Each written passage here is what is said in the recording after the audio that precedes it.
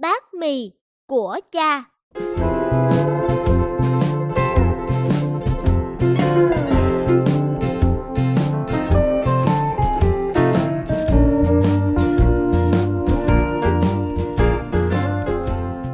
Ủa, quý khách ăn gì ạ?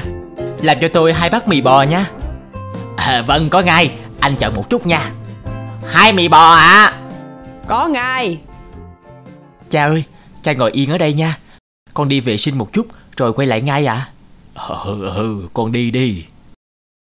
Anh ơi Làm cho tôi một bát mì bò Còn một bát mì không thôi. Ừ sao lại thế?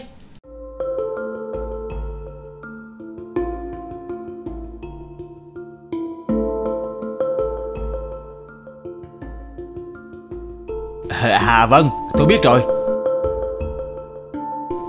Cảm ơn anh Chị Bảy ơi, bàn kia khách chỉ gọi một mì bò thôi Còn một mì không?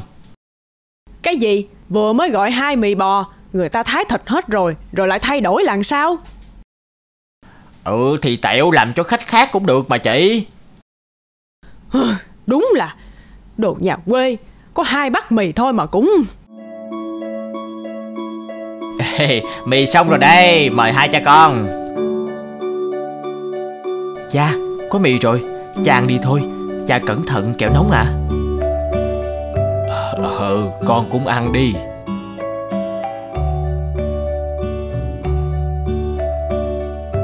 Ừ, ừ, Ăn đi con Ăn nhiều thêm một chút Cha không ăn hết được đâu. Bác con cũng nhiều thịt lắm rồi Cha ăn đi ạ. À. Ăn nữa đi này con Thanh niên sức dài vai rộng Ngần này à, có bỏ bèn gì Con xin cha. Trời Thì ra là ông ấy bị mù sao? Trong hai cha con họ có vẻ nghèo khổ quá. Cái quán này thật tử tế Một bát mì mà bao nhiêu là thịt. Vâng bát của con cũng vậy. Họ bán rẻ quá cha nhỉ? Ừ ừ Ăn nhanh đi con Mì bò là bổ dưỡng lắm đấy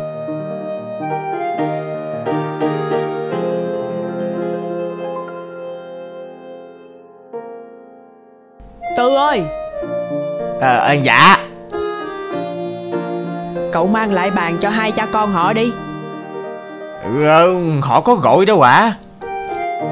Ừ Nhưng cậu cứ nói với họ Hôm nay kỷ niệm một năm ngày khai trương quán Mọi khách vào đều được mời Không phải trả tiền nhé. Bà Bảy tốt bụng quá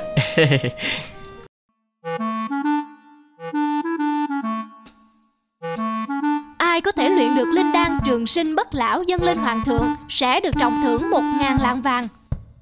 Ồ, phải về nhà luyện linh đan mới được. Đúng đấy, chúng ta mau mau về thôi.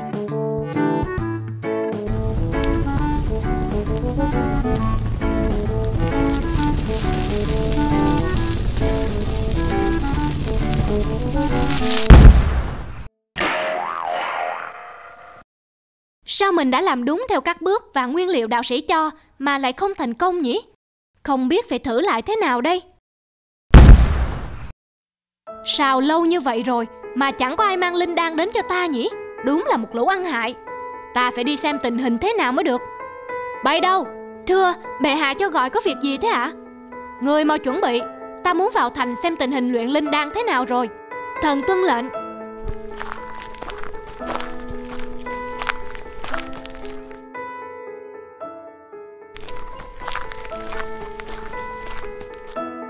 Tâu bệ hạ, giặc ngô đang tiến đánh nước ta. Chúng đã sắp tiến đến ranh giới phía nam rồi ạ. À. Có chuyện đó sao giờ này mới báo? Mau hồi cung. Sao tể tướng giờ này chưa đến? Mau đi gọi tể tướng đến đây cho ta. Tâu bệ hạ Tể tướng đang bận luyện linh đan ạ. À.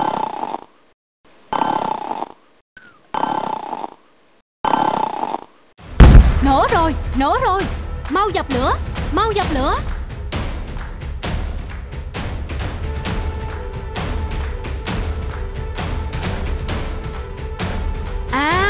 Có thế mà ta không nghĩ ra.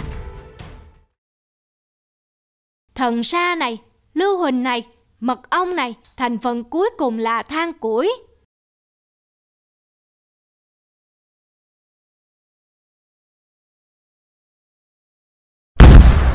Thành công rồi Thành công rồi.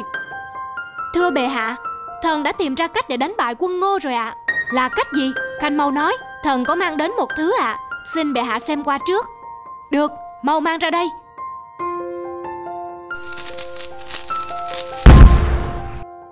Ý Khanh là sao Dạ Thần muốn tạo ra những viên thuốc cháy cỡ lớn như vậy Để tiêu diệt giặc ạ à. Hay lắm Vậy hãy mau mau bắt tay vào làm đi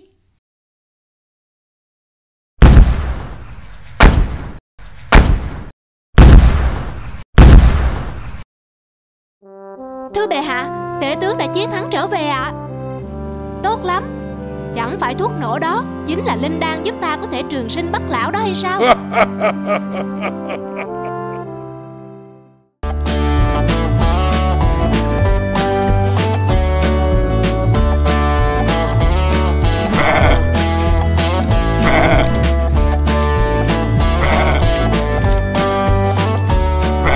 Cỏ tươi non thế này thì chẳng mấy chốc đàn dê sẽ lớn nhanh như thổi Cuối năm mình sẽ có tiền sửa lại nhà.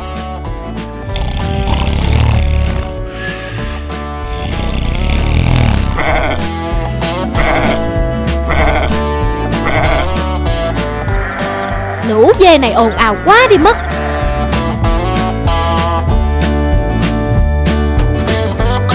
Trưa nắng rồi, Ta phải cho dê về thôi. Ngày nào anh cũng giờ này mới cho dê đi ăn. Nắng thế này Chúng chịu sao được?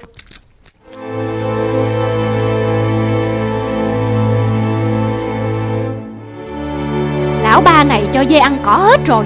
Giờ nắng thế này Biết đi đâu cho dê ăn bây giờ? Thôi Hôm nay cho chúng ăn tạm ở đây vậy. Ngày mai mình sẽ tìm bãi cỏ mới cho chúng.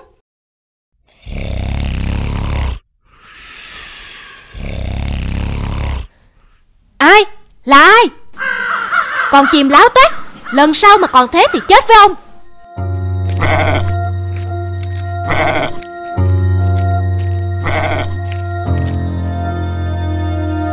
Nghe nói bên sườn núi có bãi cỏ xanh lắm.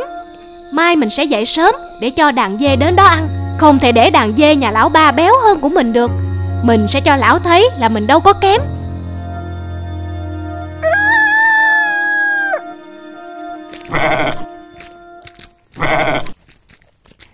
Chào anh Tư, hôm nay anh cho dê đi ăn sớm vậy. Thế này thì tôi lại có bạn rồi Đỡ bị buồn lúc chờ dê ăn.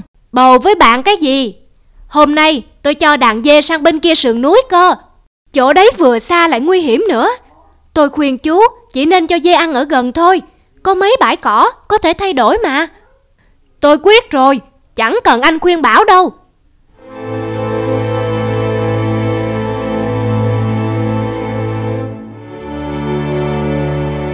Nguy hiểm gì chứ?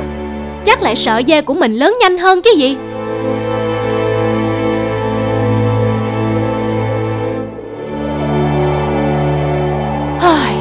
May mà cho ăn gần nhà Chứ không thì không biết sẽ trú mưa ở đâu.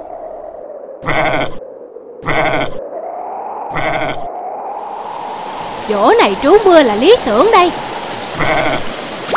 Trời, sao trong hang lại nhiều dê như vậy? Đúng là trời giúp ta rồi. Tự nhiên lại mang cho ta một bầy dê béo nút thế kia. Có đàn dê béo này rồi, Thì ta cũng chẳng cần đến lũ dê gầy ốm kia nữa.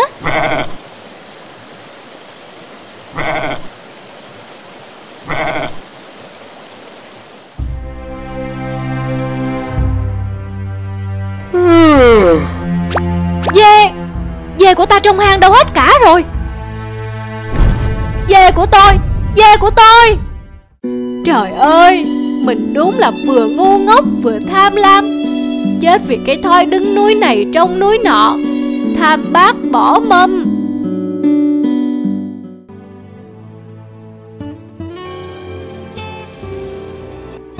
Số này là số mấy hả anh? Số 5 Em đố anh vẽ được ngôi nhà đấy. Giấy ẹt mà Hai đứa đi rửa tay đi mau lên Khoai chín rồi nè Vâng ạ à. Hai em ăn đi, từ từ kẹo nóng đấy Vâng ạ à. Chị hai ơi, mẹ sáng nay đi chợ từ lúc nào vậy? Sao em không biết nhỉ? Hôm nay chợ phiên, chợ xa Mẹ phải đi từ 3 giờ sáng cơ Lúc đó em còn đang cuộn tròn trong chăn Biết làm sao được Thế phải tối mẹ mới về hả chị? Phải rồi, mẹ dặn hai đứa ở nhà phải chơi ngoan, nghe lời chị đó. Hôm nay mà đứa nào hư hỏng là chị đánh tét mông đấy. Thế hôm nay chị phải dạy chúng em học bài đấy nha Phải rồi, hôm nay chị phải thay mẹ mà. Được rồi, ăn nhanh lên đi rồi còn học bài. Yeah Trông chị giống cô giáo chưa? Giống lắm rồi ạ Lớn lên, nhất định chị sẽ học thật giỏi để trở thành cô giáo. Nào, thôi bây giờ chúng ta bắt đầu bài học nhé. Vâng ạ Ừ, học gì bây giờ nhỉ? Các em đã biết chữ đâu? Ở lớp cô dạy chị cái gì Chị dạy lại bọn em Ừm, à, phải rồi. Để chị đọc truyện cho hai đứa nghe nhé. Truyện này chị mới được cô giáo kể hôm qua. Một câu chuyện rất hay của Nguyễn Nhật Ánh. Vâng ạ hay quá À, phải rồi. Trước tiên chị đố hai đứa câu này nhé. Chị đố đi ạ Người viết ra những câu chuyện thì được gọi là gì? Ờ, gọi là gì nhỉ? Người viết ra những câu chuyện Ờ, khó quá Gọi là gì hả chị hai? Được gọi là nhà văn. Ờ, thì ra là thế Người viết ra những câu chuyện được gọi là nhà văn Vậy thì lớn lên, em muốn trở thành nhà văn, chị hai ơi. Chị hai ơi, vậy người vẽ những bức tranh gọi là gì ạ? Dễ thế mà cũng không biết à. Người vẽ ra những bức tranh gọi là họa sĩ chứ cái gì nữa. Họa sĩ Lớn lên em muốn trở thành một họa sĩ Còn em thì xí thành nhà văn đấy nhé. Nhưng chắc ờ, chắc chẳng được đâu. Nhà mình nghèo thế này. Hôm trước em nghe bố mẹ nói chuyện, bảo chẳng biết kiếm đâu ra tiền cho ba chị em đi học bây giờ. Sắp tới năm học mới rồi. Nhà mình chắc chỉ có chị hai là được đi học thôi à. Thật á Không đi học thì làm sao thành họa sĩ được? Em cũng chả biết. Không phải vậy đâu Hai đứa đừng nói linh tinh mà. Thế nào rồi cả hai em cũng được đi học giống chị thôi mà. Thật à chị Chị nhớ nói với mẹ cho bọn em đi học nha. Bọn em sẽ cố gắng học Thật giỏi giống như chị hai vậy Được rồi. Hoan hô chị hai. Nào bây giờ Út Tư thử kể cho chị nghe một câu chuyện đi xem nào. Chuyện gì cũng được. Chuyện gì cũng được hả chị? Thế thì em kể chuyện nhà mình nhé. Buổi tối chị hai ngồi trong bếp thổi cơm. Má đỏ hồng. Mẹ tắm cho anh ba rồi cho em. Khi mọi việc vừa xong cũng là lúc bố đi làm về. Cả nhà quay quần bên mâm cơm Chị hai nấu cơm rất ngon. Bữa nào em cũng ăn được hai bát đầy. Cả nhà vừa ăn vừa trò chuyện vui vẻ. Út Tư kể chuyện nghe hay quá à. Cô Tí, em có vẽ được bức tranh gia đình mình đang ngồi ăn cơm không? Dạ được chứ ạ. Em vẽ nhanh lắm. Chị hai đợi em một chút nha. Xong rồi này chị hai. Đẹp lắm. Bây giờ hai đứa nhìn nhé Chị hai làm gì vậy? Đây chính là quyển sách đầu tiên mà các em vừa viết ra đấy. Cuốn sách có tên là Bữa tối hạnh phúc Của nhà văn Út Tư và họa sĩ Cu Tí Ôi đẹp quá. Yeah, em thành nhà văn rồi. Còn anh thành họa sĩ rồi nhé. Bữa tối hạnh phúc của nhà văn Út Tư, họa sĩ Cu Tí.